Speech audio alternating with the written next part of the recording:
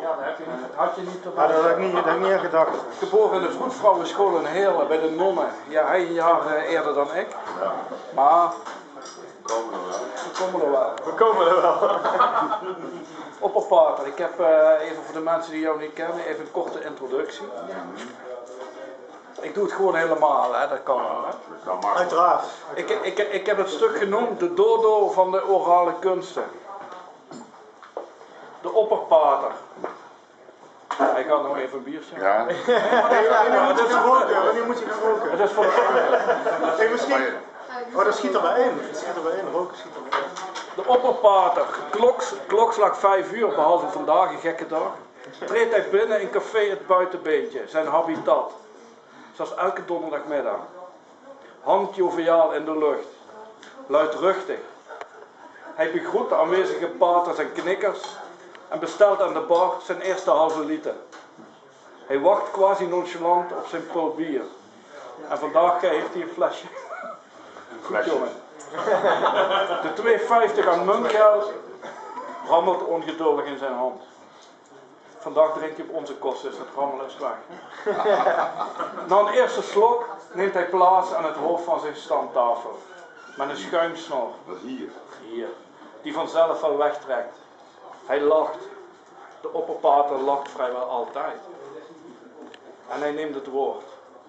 Om in de komende drie uur niet meer dan mee te stoppen. Een tiental fans hangt weer aan zijn lippen. De lippen van de enige echte Tilburgse voordrachtskunstenaar. Klokslag 8 uur verdwijnt hij weer. EastEnders kijken.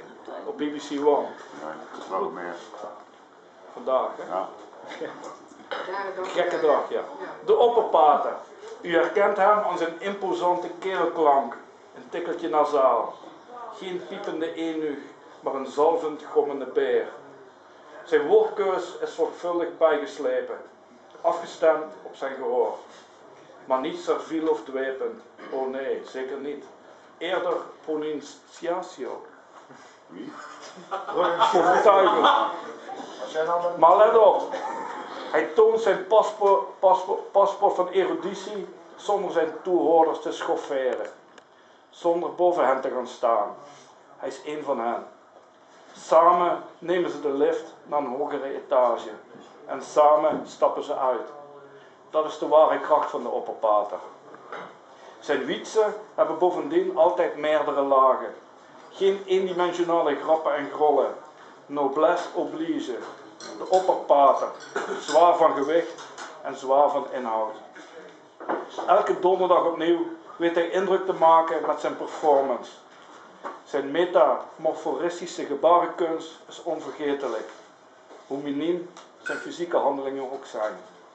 Zijn pantomimiek beperkt zich tot een subtiel spel met zijn wenkbrauwen en een geraffineerd lachje.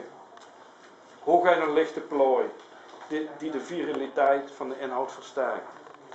Herken je een beetje hier? Ik heb je gewoon goed getroffen? Wel dominant. Zijn echo in de bariton en zijn decorum. Capaciteiten die hij streng bewaart. Het zijn de dankbare instrumenten van een ware vakman. Instrumenten waarmee hij de bezoekers van het buitenbeentje probeert te verlichten, te stichten zelfs. De opperpater is een man van deugd en waardigheid, ook dat. De opperpater is overigens als voordrachtskunstenaar een autodidact. Dus geen geschoolde maniertjes, geen aanstellerig gehinnik. De opperpater is een natuurtalent. Het zit in zijn genen. Het. Het is moeilijk te omschrijven. Hij heeft het gewoon. Aan zijn kont hangen als het ware. Hij, hij hoeft zijn retorische kunsten niet naar populistische voorgangers of succesvolle politici te modelleren. Ook is hij wars van klassicistisch geneuzel. Hij is zichzelf. Geeft gewoonweg toe aan de aandrang om te oreren, aan de flow van de taal. Declameren is bovendien gezond, zegt hij.